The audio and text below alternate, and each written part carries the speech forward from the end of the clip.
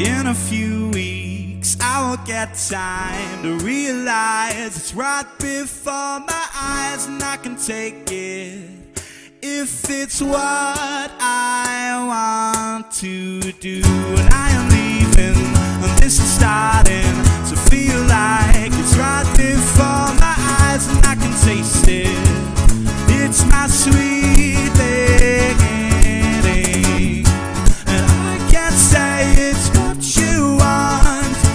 don't want to be